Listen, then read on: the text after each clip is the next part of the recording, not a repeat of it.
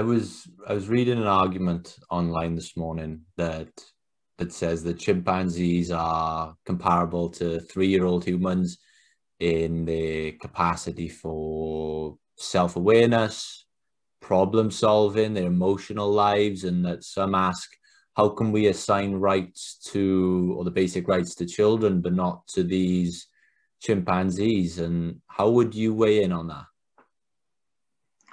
Uh, you know, I, I, think that's that's essentially correct. That um, it's it's not really justified to say humans have rights. You know, we talk about human rights a lot, um, uh, but humans have rights, but no non-human animal has these rights.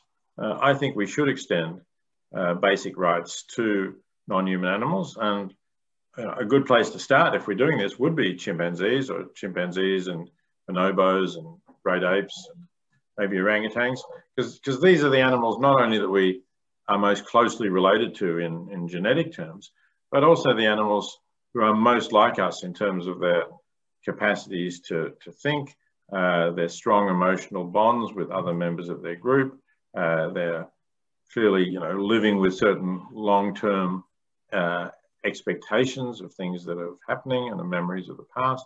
Um, you know, you only have to read the wonderful studies by Jane Goodall and um, many others since, uh, and not only about chimpanzees, but about other great apes.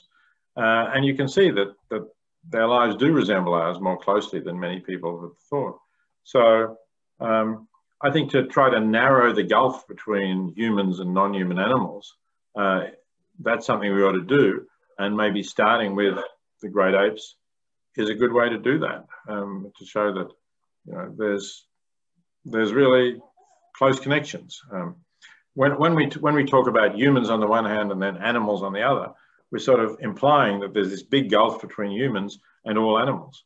But in fact, we're much more closely related to a chimpanzee than a chimpanzee is to a dog uh, in, in, genetic terms. So um, it's not like there's all humans here and all non-human animals there. It's like there's, there's a whole continuum of relationships and to some extent a continuum of cognitive abilities, but more important still is the capacity to suffer and to feel pain and to enjoy their lives, um, which uh, a, a, very large number of animals have.